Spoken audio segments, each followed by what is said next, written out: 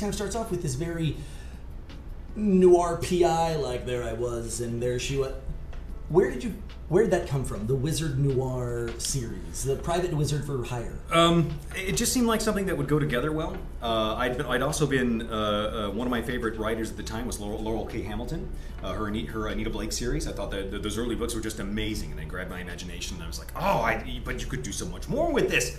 And so I, I got into it and started tearing into it and seeing, well, let's let's actually have you know a full-on fantasy universe, Lord of the Rings style, Dungeons and Dragons style. Right. You know, uh, uh, and and then plus I, I'd been reading fantasy books for a long, long time, and I never found a wizard that I felt really sufficiently. I believed that he could bla- that, that he was the guy who would say, "I didn't ask how big the room is. I said I cast fireball." You know, I, I wanted that guy. uh, uh, uh, and so and so and that was one of the things I got to do with Dresden is, is to you know kind of get that wizard and, and, and get him into the action scenes. I mean, and, and there was a lot of Buffy behind it. And, Sure. uh, Everyone uh, loves Joss. Like, yeah, oh, yeah, What an amazing writer of urban fantasy. Oh, Like, absolutely, absolutely. Yeah.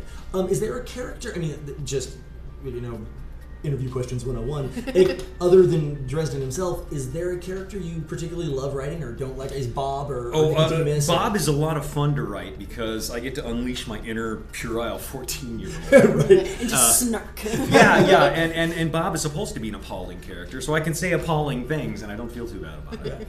Uh, uh, other than Bob, though, I really enjoy I enjoy writing Marcone. He's always a fun guy to write. I enjoy writing Mab a whole hell of a lot.